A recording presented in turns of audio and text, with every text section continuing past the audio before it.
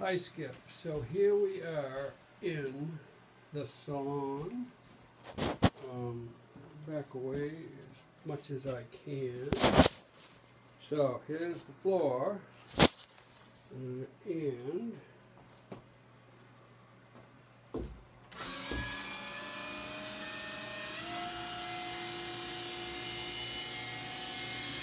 there's a switch right here.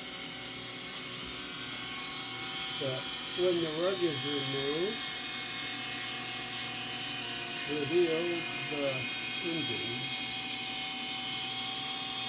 coming into view. So there is the Caterpillar. Right down there. Batteries are on either side back there, the shaft. There's uh, two bilge pumps there. One of them is the high water alarm.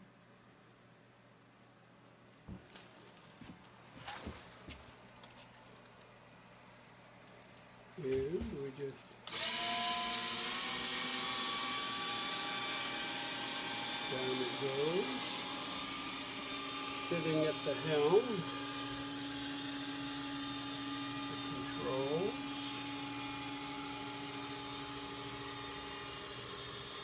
This is Hank's list that he had printed out when he leaves the boat. And this is the Raymarine unit. There is a smaller one just like it that he has at home. Only smaller, I think it's a 9 inch. Um, you view out the front, that boat's pretty close up there. So, now, here we are. There's some chairs for the back deck stored there. Here is the co-pilot chair. There is storage underneath. I don't know what's in there. Not so much. And there's a little a little puka right in here. And it's got spare keys and stuff. I see there's a remote control in there for think the spotlight. And over here is the helm chair. These cushions. That blue is tape. Well, we can't tell. But anyway, the cushions are brand new last year. And so there's your remote battery switch there. There's your switch for the engine box cover. Your 12 volt house batteries, um, battery switches down there. This was all done by Hodgson, I think. And there are two pukas there. Plenty of storage. So, your Gray Marine unit, your radio, your SimRad, autopilot. So there's a footrest for the co-pilot, your books, your charting things.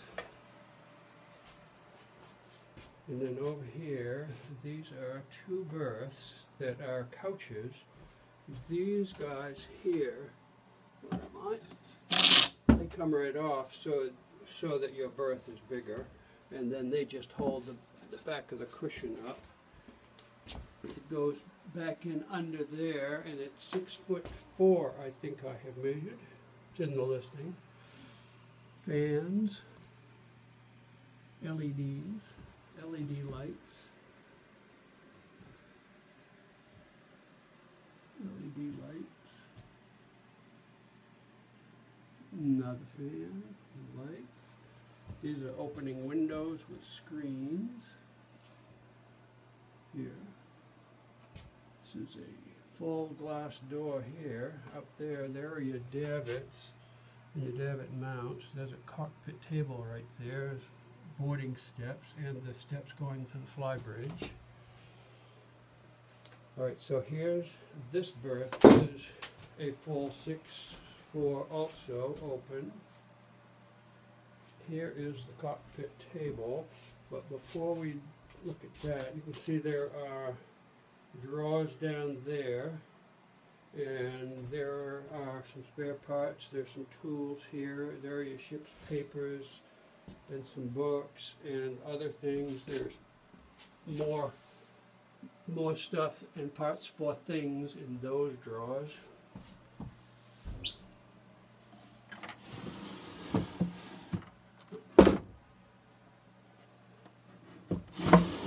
Has your US, oh, the, the safety stuff is right over there. And so this table, you can see, it's hard for me, but it, it has two leaves and they just have little pull-out supports under here, I see, that are right there to hold them. And it goes,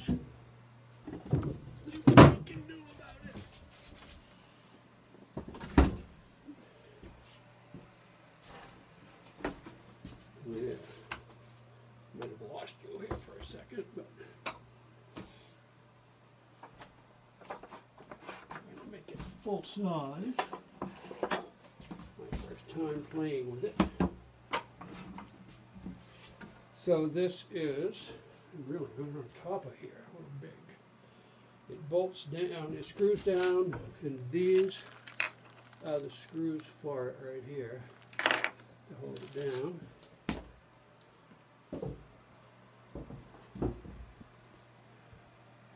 That's what it is. Um, I have not seen these cushions, but everything about the boat is very nice. I don't know even what color they are. Uh, I can find out from Hank and get some pictures of that for you. There's a rug here I've not seen. I haven't paid attention to the boat enough, not nearly enough. I see them. I see it mostly in the winter when everything is gone.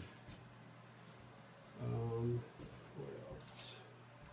What else? So here you are in the salon. It's got a nice headliner in the Herreshoff style, they say. Yeah. Wipers. Stereo speakers. There's stereo speakers out back in the cockpit. Uh, all of the windshields have windshield washers. Pantograph. That's a nice boat. Uh, so here you are in, so now we have a cutaway here. Quite roomy. And really, nice. Very nice. Holly down there. Sorry about my finger. There is, you go down here. Got a heater going for a little bit, which will warm my pinkies. There's a track right here where the privacy curtain goes, and it goes against the wall in a couple of, like you would do with a curtain. So here we are. And there's storage under all of these. I don't think there's anything in them now. No, there's nothing here. And your chain locker. And this is a real Bomar Sea Hatch up here. Look at that. Like you'd see on a deep sea sailboat. So here's the stove. It is pulled out. I see that they're working on.